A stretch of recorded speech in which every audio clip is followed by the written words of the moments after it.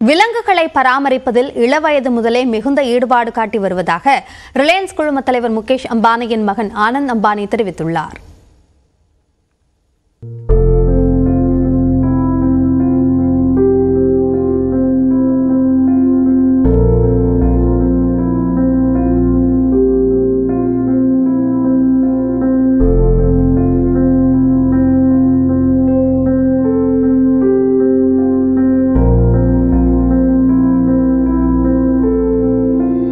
நாய் பூனை உள்ளிட்ட செல்ல பிராணிகளை பராமரிப்பதற்கு உலகம் முழுவதும் பல்வேறு பராமரிப்பு மையங்கள் உள்ளன.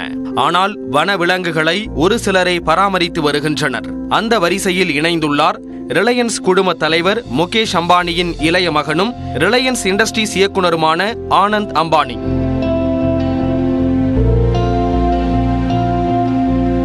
பெற்றோரான முகேஷ் அம்பானி நீட்டா அம்பானி அளித்த ஊக்கத்தால் குஜராத் மாநிலம் ஜாம் நகரில் green zoological rescue and rehabilitation centre என்ற பெயரில் மிகப்பெரிய வனவிலங்கு மையத்தை அமைத்துள்ளார் Anand Ambani My mother has always been a great inspiration to me.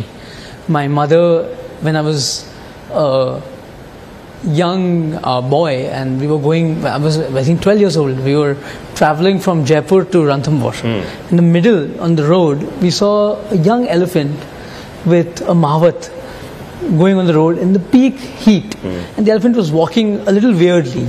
So I told my mom we want to rescue it. So that was the first elephant, and we had no idea how to take care of elephant. I basically, when I was a young child, told you my mother hmm. always would tell me to take care of the animals. So in your childhood also you would do this? I would do it in my childhood. And my father was actually, my father is one of the biggest wildlife buffs, for example, when we were young. I think till the age of 18, I've not gone to any other family holiday except Africa, Ranthambore, and uh, the jungles of Kahana, the jungles of Bandhavgarh, Kaziranga. My father would only take us to jungle holidays. சுமார் இரண்டாயிரத்து ஐநூறு acre நிலத்தில் யானை உள்ளிட்ட வன விலங்குகளும் அழியும் தருவாயில் உள்ள அறுபது விலங்குகளும் பராமரிக்கப்பட்டு வருகின்றன இங்கு விலங்குகள் கூண்டில் அடைக்கப்படாமல் காட்டு சூழ்நிலை உருவாக்கப்பட்டுள்ளது இது குறித்து பேசிய ஆனந்த் அம்பானி இந்தியாவில் உள்ள எந்த வனவிலங்கும் பாதிக்கப்படக்கூடாது என்பதே தங்களது நோக்கம் என்றும் இந்த பராமரிப்பு மையத்தை அமைப்பதற்காக அனைத்து சட்டங்களையும் பின்பற்றுவதாகவும் கூறினார் For wildlife, there are very few people. And, you know, wildlife is getting endangered.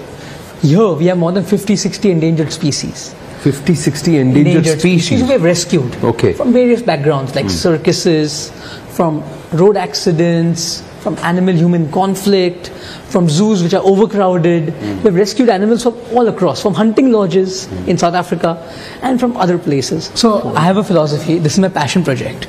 So I give about one hour a day or one and a half hour a day to one Tara where we do animal rescue, animal safe. The rest of the time I'm devoted to my father and I give about 14 hours a day to So 15 hours of work of which one hour is one, one and a half hour, no matter what, however difficult the day is, one, one and a half. And weekends, for me, Jamnagar is my home.